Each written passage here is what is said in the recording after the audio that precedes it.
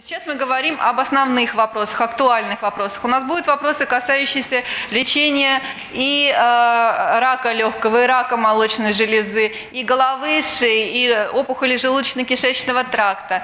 Но сегодня мы все-таки поговорим о толковом словаре, о тех словах, которые вошли в наш, нашу повседневную практику. Вошли они не так давно. Да, у нас есть наш толковый словарь Ожегова и далее, но появились слова, с 2011 года, как зашло солнце над иммунотерапией, как только появился э, эпилимумаб, у нас вообще поменялось понимание биологии опухоли. И вот наши патоморфологи, когда мы обсуждали проблему биологии опухоли, подарили мне слайды, которые очень, как, как никто э, э, другие, четко показывают, собственно, чем отличаются опухоли, почему бывают маленькие опухоли, но злые, но и большие, но добрые. Я часто использую эти слайды в своей презентации, но когда я мы говорим с вами о таком термине, как биология опухоли, не все зависит от размеров опухоли, не все зависит от размеров метастатических лимфатических узлов.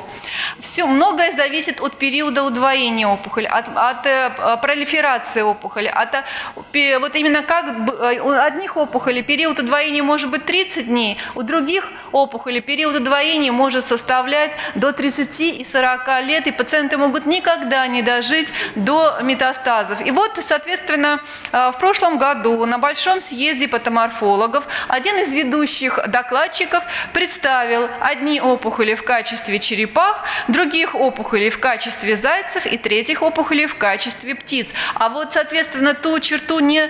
А, а, ту черту представили в виде невозврата, в виде забора. Ну что же получилось? Оказывается, есть опухоли черепахи. То есть больные с такими опухолями никогда не доживут до клинически значимых метастазов. А если задуматься, 3% э, взрослых людей с маленькими опухолями почек, а треть пациентов с маленькими опухолями э, щитовидной железы, половина мужчин в возрасте старше 60 лет с маленькими опухолями предстательной железы. И вот такая маленькая страна, как Финляндия, где очень хорошо работает скрининг, и скрининг ПСА показал колоссальный рост заболеваемости, но это никак не отразилось на снижении смертности, поскольку эта опухоль, она клинически незначима. Да, опухоль есть, это добрая опухоль, она будет длительно существовать в организме. И еще самое, тоже нельзя забывать, что э, треть женщин в возрасте 40-49 лет с маленькими опухолями рака молочной железы, в ряде случаев мы, конечно же, их перелечиваем, но мы до конца сейчас не понимаем, кто эти женщины. Но, тем не менее, у нас есть уже маркеры, по которым мы можем судить о благоприятном прогнозе заболевания. И э, Соответственно, опухоли зайца. Здесь вот для этих опухолей характерный переход из карциномы ситу в первую, вторую, третью, четвертую стадии. И ранняя диагностика, а также скрининг приводит к снижению смертности. И вот мы говорим об опухолях птицах. Вот тот самый маленький период удвоения опухоли – это крайне агрессивные опухоли, которые нуждаются в самом современном, самом эффективном лечении. И, пожалуй, такие, к таким опухолям можно отнести в том числе и меланому, поскольку до 2011 года а, все было достаточно грустно, и период удвоения был крайне маленький. И у меня теперь будет к вам большая просьба те, кто остались в зале, возьмите, пожалуйста, свои телефоны. Я сейчас тоже попытаюсь это сделать. Давайте мы проголосуем. Так, для этого это очень легко. Войдите в Safari. Я очень попрошу это всех сделать. Мы просто посмотрим, как вот сейчас состоит обстановка в нашей стране и в нашем мире в отношении возможности получения а, ингибиторов точек иммунного контроля. Собственно, многое мы, здесь э, будет соприкасаться так или иначе с этой темой. Пожалуйста, вводите в Safari Mobi Vote. Так очень легко. Наберите mobi.vote. Удалось войти? Если вы, если вы вошли туда, mobi.vote, вы увидите, вот, э, соответственно, такую же запись, как на экране. Имеете ли вы опыт работы с ингибиторами точек иммунного контроля, то есть чекпоинт ингибиторами? Да, нет. Один – это да, 2 – это нет. Я попрошу проголосовать, мы просто увидим, как у нас сейчас обстоит дела с иммунотерапией.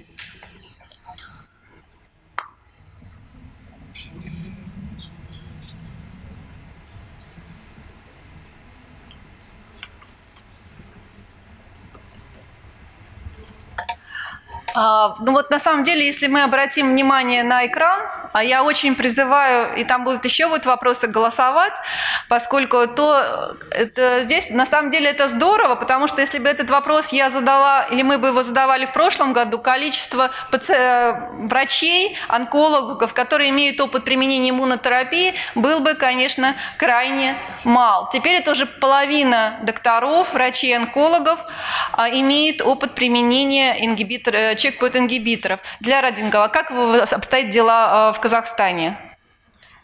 с э, чекпоинт-ингибиторами? Да, мы уже начали тоже работать. Как раз вот сейчас я в своем докладе представлю наш небольшой опыт. Ну, конечно, не так активно, наверное, как у вас в России, но все равно уже начинаем мы. Поэтому я думаю, что большой опыт это у вас, и, конечно, в Америке, в Европе, и все это мы сейчас интегрируем. И с учетом нашего нового комплексного плана выделено финансирование дополнительное. Думаю, что это все-таки будет тоже наши врачи здесь присутствуют. Я думаю, что они тоже могут поделиться опытом и обсудить вопрос. Спасибо большое. И вот э, следующий тот термин, э, то, то, то, то то, что вошло в наш повседневный уже э, обиход, те слова, с которыми мы постоянно сталкиваемся, это ингибиторы точек иммунного контроля. По сути, это группа противоопухолевых препаратов, которые ингибируют контрольные точки иммунного ответа, не позволяя опухолевым клеткам ускользать от иммунной системы. Вот посмотрите, пожалуйста, мы говорили с вами о птицах, о больных меланомами, где кроме как вот э, декарбазина до какого-то времени, э, и вы смотрите, ведь э, мы видим кривую, которая а, совершенно катастрофически снижается вниз. И что происходит на пембролизумабе? Обратите внимание, мы видим плата.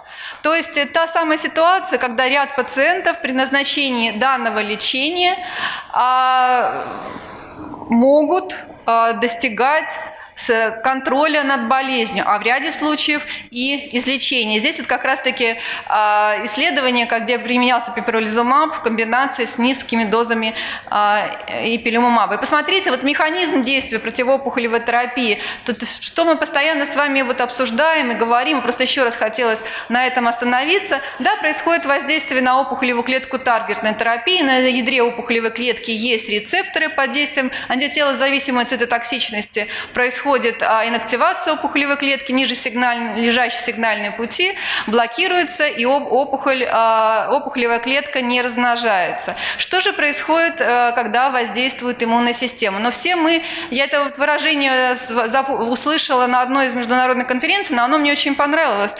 Представьте себе, что мы вот водители, да, и у нас топлена в пол педаль тормоза, и мы пытаемся всеми возможными методами дочек под ингибиторами давить на педаль газа газа. Но это бесполезно. И что же происходит при воздействии чек-под-ингибиторов? При уже той педали, когда мы давим на газ, а, мы отпускаем педаль, педаль, педаль тормоза, и, соответственно, лимфоциты, они мчатся, они набрасываются, если образно говорить, на опухолевые клетки, но поспудно воздействуют и на окружающие ткани. Поэтому у нас появился новое а, такое осложнение, как иммунопосредованное осложнение, о чем мы, собственно, тоже будем говорить. И, конечно же, вот сегодня Борис Владимирович Афанасьев говорил, что, пожалуй, это самая значимая Нобелевская Нобелевская премия, которая была вручена за последние годы, и она была как раз-таки а, вручена за открытие противоопухолевой терапии, которая подавляет негативную иммунную регуляцию, ну, такой дословный перевод. И в настоящий момент уже зарегистрировано а, более 20 показаний для чекпоинт-ингибиторов, ингибиторов точек иммунного контроля. И вот эти вот как раз-таки ингибиторы точек иммунного контроля заново обучают иммунную систему организма, организма бороться со злокачественной опухолью, лишая возможности опухолевых клеток ускользать от иммунного надзора. И вот если посмотреть внимательно, а, то на все те регистрации, которые в настоящий момент есть, мы уже, мы уже давно уже, да, мы знаем, что у нас есть анти-CTLA4, у нас есть анти-PD, у нас теперь уже есть анти-PDL ингибиторы, и атезолизумаб, и авеломумаб, и дурволумаб. Посмотрите, сколько у нас просто совершенно фантастические э, и самое важное, опухоли, больные опухоли мочевой, э, мочевого пузыря, которые были всегда сиротами, и даже как такового мы их а, типа пациенты просто исчезали достаточно, а, но там в ряде случаев прогноз был крайне неблагоприятен, а назначение иммунотерапии значимо улучшает прогноз, меняет биологию опухоли. Посмотрите, как, э, как, как, какое количество, сейчас прошу прощения, а, э, соответственно, рекомендаций для того же самого ниволумумаба. Сегодня, опять-таки, Борис Владимирович говорил о, о перспективах назначения для классической лимфомы Ходжкина, а, не говоря уже о других всевозможных солидных опухолях. И также я вот посчитала, насчитала 16 показаний в настоящий момент FDA а, для, а, при вот, э, соответственно, PDL ингибиторов для пембролизумаба. А, и, конечно, вот если говорить о собственном опыте, ну, конечно, лучше представлять а, наблюдательные исследования, они должны быть большие, и в ряде случаев они у нас только опираются на да, за счет расширенного доступа. Да, у нас есть ряд чекпоинт-ингибиторов, опыт которых накоплен, и он уже представлен и на международных площадках в том числе. Но вот мужчина, который был резистентен, а, с, у него были метастазы в легочной ткани, умеренно дифференцирован, нерегивающего плоскоклеточного рака в правое легкое, а, значит, без признаков ассоциации с, HPV-инфекцией, значит, и, соответственно, Проведение терапии пембролизумабом позволило, а, во-первых, э, уменьшить явление висцерального криза, связанное с дыхательной недостаточностью. Очаги в легочной ткани уменьшились. И опять-таки возникает вопрос, как длительно проводить терапию. Сейчас единственный ответ, который правильный, до прогрессирования или непереносимой токсичности, или уже по а, мнению, соответственно, исследователей. Опять у меня большая просьба, пожалуйста, вводите свои девайсы а, откройте MobiVote. И давайте проголосуем, мы просто увидим, а, э, используем ли мы в своей практике, я уже не говорю конкретную локализацию, конкретных больных, я уже, это могут быть больные раком легкого, в Российской Федерации работает программа «Онкогеном» для определения PDL-экспрессии. А сейчас активно и по другим всевозможным локализациям а, сейчас будет работать и работает определение PDL-экспрессии. Так вот, у меня большая просьба, значит, определяете ли вы больным, а, уровень PDL-экспрессии. Большая часть аудитории, а это две трети, ответили «да». И это в ряде случаев э, очень важно. Собственно, почему? Потому что, прежде всего, если говорить о том термине, который появился в наш, нашем с вами языке, в нашем с вами обиходе, это прежде всего, конечно же, сам термин контрольной точки иммунного ответа, это CTL4 антипеди. Э, о них я, у нас будет специально посвященная э, сессия э, Светланы Анатольевны Проценко под руководством, она будет проводиться в субботу, и там активно будет уделять большое внимание. Но в чем, собственно, проблема, на что мы должны обращать внимание? Что э, вот даже собрались все вместе э, немецкие, э, немецкое общество патологов и попытались гармонизировать результаты определения PDL-экспрессии. Да? И оказалось, что экспрессия была сопоставима на клонах 22C3, 28.8, CP263, и экспрессия не отличалась на, на клоне CP142. Но самый важный вывод – а, вот такие несколько больших проектов Blueprint, которые сказали, что да, подсчет иммунных клеток с экспрессией PDL остается сложной задачей. И в ряде случаев, вот если мы говорим, например, о голове и шее, мы с вами столкнемся с некоторой терминологией. Прежде всего, это, например, а, комбинированная шкала вот э, комбинированная шкала определения PDL-экспрессии, а, когда число клеток, имеющих на своей поверхности PDL, один, э, значит, э, соответственно, экспрессия – это опухолевые клетки, клетки, лимфоциты и макрофаги, от общего числа опухолевых клеток. Или же это может быть, например, да, tumor positive score, когда число опухолевых клеток, имеющих на поверхности PDL-1, соответственно, экспрессию от общего числа опухолевых клеток тогда у нас появилось две шкалы, шкалы. И они, э, конечно же, тоже имеют большое значение. Не только определение экспрессии на опухолевых клетках. Еще один вопрос. А определяете ли в больным уровень микросателлитной нестабильности? Опять-таки не говорю здесь конкретной локализации. В целом, есть возможность в ваших учреждениях или направить куда-либо для с целью определения уровня микросателлитной нестабильности? А, будьте добры, пожалуйста, у нас, э, у нас висит старый вопрос. А есть в базе вопрос по микросателлитной нестабильности? Следующий вопрос. У нас почему-то он не загружается. Мы его видим на экране, а... Да, на телефоне, пожалуйста, попробуйте нам вывести его.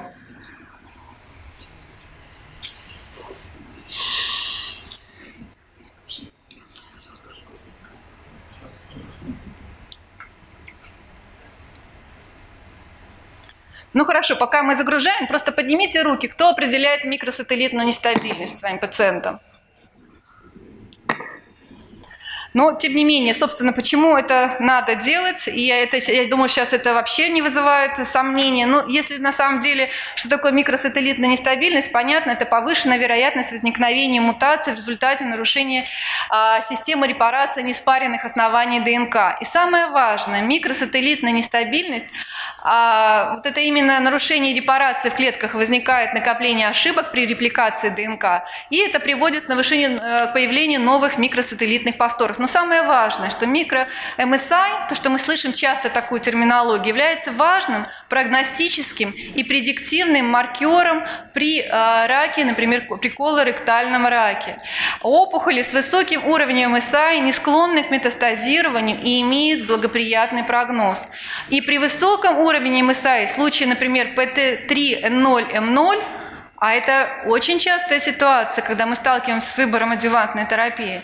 А при обнаружении микросателлитной нестабильности показано, а, конечно же, наблюдение. Не нужно проводить химиотерапию по схеме FOLFOX там не три не месяца, не полгода, ее вообще не нужно проводить, потому что прогноз крайне благоприятный, и такие опухоли, мы с вами, если сравнить их с черепахами, это опухоли медленно ползущие. Они достаточно медленно доползут до черты невозврата.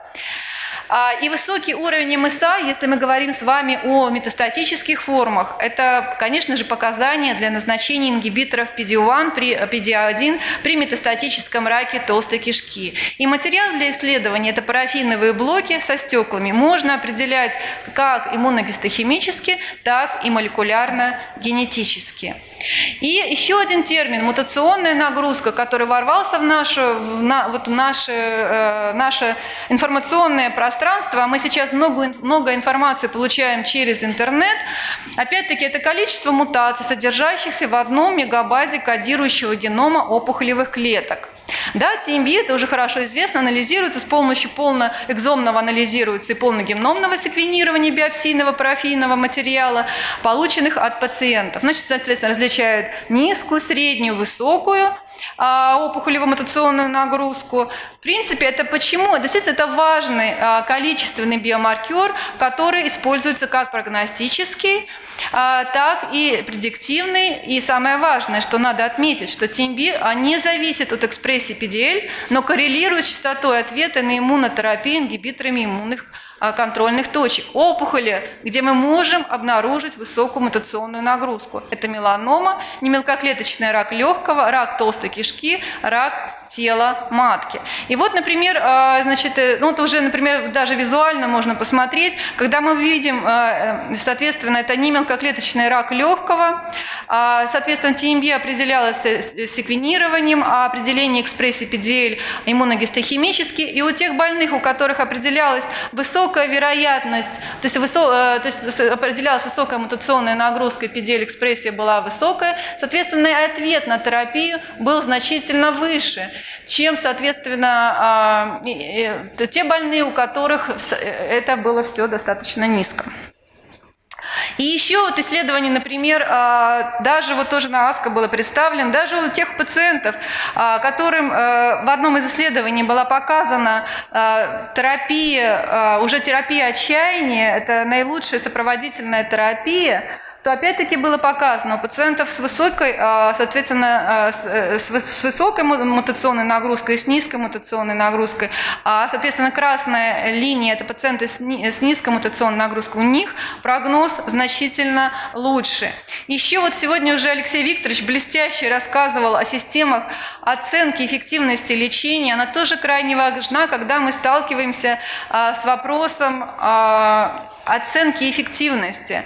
А, это как касается и химиотерапии, таргетной терапии, особенно иммунотерапии. И вот прозвучал такой термин, что инертность и дуализм действия иммуноонкологических препаратов требуют особого подхода в оценке эффективности лечения. Поэтому были разработаны специальные системы, позволяющие правильно оценивать эффективность проводимой терапии. А, в подлиннике вы, можете с этими системами ознакомиться. Они опубликованы были не так давно. А, Рецист версия 1.1 в 2009 году, соответственно, версия iRecist, это Lancet в 2017 году. Но тем не менее, как уже эти, э, э, эта классификация оценки э, проводимого лечения ворвалась в нашу клиническую практику. Гиперпрогрессирование – парадоксальная реакция в виде быстрого прогрессирования заболеваний на фоне лечения ингибиторами контрольной точки. Когда мы с Алексеем Викторовичем создавали данную программу, мы, конечно же, что обсуждали, и мы должны, а, если мы говорим о, каком-то о каких-то терминологиях, мы должны подавать информацию, соответственно, вместе. Поэтому и понимание гиперпрогрессирования мы представляем, даже в ряде случаев у нас и слайды, и вот эту табличку мы а, как раз-таки собирали, анализировали. Действительно, что принимать э, за критерии гиперпрогрессирования? Рост 100, 100, на 100%, или же это кинетика роста на 100%, рост на 50%. А, мы будем оценивать массу, массы. То есть, то, конечно, соответственно, совершенно разные критерии оценочные, и частота возникновения гиперпрогрессирования в зависимости от локализации. Так, при немелкоклеточном раке легкого составляет 10%, а, например, соответственно, при опухолях голова и шеи э, гиперпрогрессирование может наступать даже при 29, в случае в 29% случаев. А, псевдопрогрессирование, временное увеличение опухоли с последующим регрессом без смены лечебной тактики. И вообще, честно говоря, для метастатических форм не нужно торопиться со смены отмены эффективного лечения, а, даже если мы видим рост, а, поскольку мы понимаем, что э, болезнь хроническая, и нам важно основной основная цель – это стабилизация болезни. Если это не сопровождается клинически значимым симптомом, висцеральным кризом, больной должен получать максимально долго то лечение, которое сдерживает процесс, особенно если это касается иммунотерапии. Псевдопрогрессирование, ну вот это, та тема, которая достаточно глубоко коснулся Алексей Викторович. Еще одна интересная тема, о которой все говорят, но мало кому ухитрилось, удалось пощупать. Тем не менее, это такая вот тема, о которой вот действительно всех э, говорят, это абскопальный эффект, системный эффект локального лечения таргетного очага с помощью лучевой терапии, чаще всего обсуждается стереотоксическая лучевая терапия, при котором самое главное, что лечебный ответ возникает в другой области. Здесь обсуждается, как вот в, в патогенезе повреждения клеток, индуцированные ионизирующим излучением с помощью различных механизмов, которые активируют иммунную систему, происходит индуцирует воспаление в опухоли микроокружения повышает активность антиген презентирующих клеток и цитотоксический эффект CD8 клеток с помощью туморно-некротического фактора альфа. Абскопальный эффект, да, это, конечно, это здорово, а, и все ученые пытаются, сейчас даже разрабатываются протоколы, опять-таки, вот метастатически с микросателлитной нестабильности колоректальный рак, а, где пациенты в начале, пациентов, это пациенты с исчерпанными возможностями лекарственного лечения. А, здесь пациенты получали в начале комбинацию неволумаба с ипилимумабом, затем проводилась лучевая терапия на один из очагов. Это могли быть очаги в печени, это могли быть очаги в легочной ткани. И затем дальше проводилась, соответственно, лучевая терапия, продолжалась лучевая терапия, а, точнее, извините, продолжалась иммунотерапия до прогрессирования. Конечно, у большинства пациентов было прогрессирование, потому что возможности были исчерпаны. Посмотрите, что ряд пациентов, у которых достигалась стабилизация, это желтым, оранжевым и, соответственно, или частичный, или полный регресс, у этих пациентов а, значимо улучшалась продолжительность жизни. Эти пациенты переходили на стадию плата. То есть в ряде случаев проведение иммунотерапии в комбинации с лучевой терапией позволяет значимо улучшать ответ. Иммунопосредованное нежелательное явление, которое тоже, тоже термин, который вошел в нашу клиническую практику. И побочные эффекты, они обусловлены избыточной активацией иммунной системы с аутоиммунным поражением нормальных тканей различных органов и систем и не являющихся основной целью иммунотерапии. При этом может пострадать любой орган. И когда мы назначаем терапию, в ряде случаев это терапия кортикостероидами, конечно же, но прежде всего это, конечно, ступенчатая терапия. Нам нужно грамотно проводить дифференциальную диагностику, прежде всего, чем назначать лечение. И в качестве иммуносупрессивной терапии последовательно используют системные глюк глюкокортикостероиды. И самое важное, что вот что нашло, э, вошло в нашу клиническую практику. Мы сейчас все говорим о мультидисциплинарной команде. Но у нас еще появилась такая терминология, как ассоциированные кардиологи. Кардиологи, которые имеют опыт работы и ведения наших онкологических пациентов, у которых развивается кардиотоксичность. У нас появились ассоциированные дерматологи, те пациент, врачи, специалисты, которые наблюдают пациентов, получающие терапию анти-GFR-ингибиторами как при колоректальном раке, так и при немелкоклеточном раке легкого. У нас появились ассоциированные офтальмологи, потому что мы прекрасно понимаем, что иммунная терапия под ингибиторами может выдавать как кожную токсичность, так и в дальнем случае и, а, может быть и токсичность, связанная токсическое повреждение глаз. Но это может пострадать, повторяю, любой орган. И неврологи должны с нами вместе работать. И самое главное, а, эндокринологи. А, мы уже все, кто работаем с иммунной системой, прекрасно понимают, что, надо, а, что нужно мониторировать, какие показатели иммунологические мы должны мониторировать. И, безусловно, основное правило, которое должно, мы должны следовать правильному пациенту, в правильное время мы должны назначать правильный препарат на основе мультидисциплинарных мультидисциплинарного, пациент-центрированного, прецизионного, комплексного, проблемно-ориентированного подхода. А, и, а, и, конечно, комплексный подход, который основывается на всех видах лечения хирургического, радиотерапии, цитотоксической, таргетной терапии и иммунотерапии. Это все закреплено законодательством, законодательством 915 приказом. И вот это, эта мультидисциплинарная команда, это в центре этой команды находится пациент. Это прежде всего пациент-центрированный, а, проблемно-ориентированный подход. Те новые слова, которые вошли в нашу клиническую практику. Конечно же, реабилитация. Реабилитация пациента пациента должна начинаться с момента постановки диагноза. И важно, чтобы информацию получали пациенты от нас, а не от доктора Гугла, или как угодно можно назвать, да, доктор Facebook. А, очень важно, чтобы информация была от квалифицированных специалистов. И вот ту терминологию, когда вот я НАСКО, она прозвучала, она как никогда подходит к нам с вами, к сидящим здесь, к мультидисциплинарной команде. Если хочешь идти быстро, иди один. Но если хочешь уйти далеко, далеко, иди вместе. И основоположник отечественной онкологии Николай Николаевич Петров написал, что хирургия не исчерпывается наукой и техникой, больно затрагивая человеческий организм, глубоко в него проникая, хирургия достигает верших своих возможностей лишь в том случае, если она украшена высшими проявлениями бескорыстной заботы о больном человеке. Потому что больной – это всегда человеческая личность со всеми ее сложными переживаниями, а отнюдь не безличный случай. Благодарю за внимание.